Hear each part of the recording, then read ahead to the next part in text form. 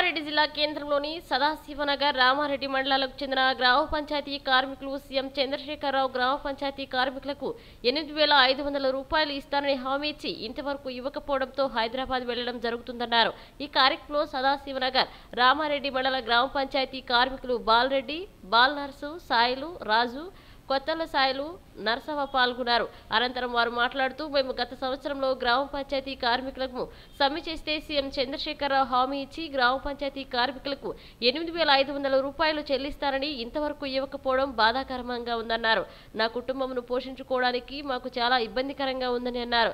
ఇచ్చిన హామీని సీఎం చంద్రశేఖరరావు నెరవేర్చుకోవాలన్నారు. లేకపోతే మళ్ళీ పెద్ద ఎత్తున ఆందోళన చేస్తామన్నారు.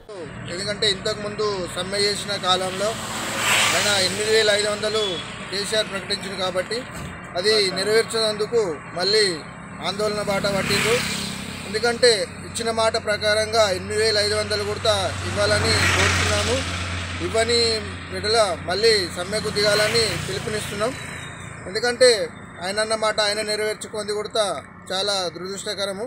గ్రామ పంచాయతీలలో డబ్బులు లేక కూడా చాలామంది విలిపించిపోతుండ్రు ఎందుకంటే టెక్స్టులు కానీ నల్ల బిల్లులు కానీ ఎవరు కట్టినా మోటార్లకే అళ్ళకే పోతున్నాయి కాబట్టి లీకేజ్లకు.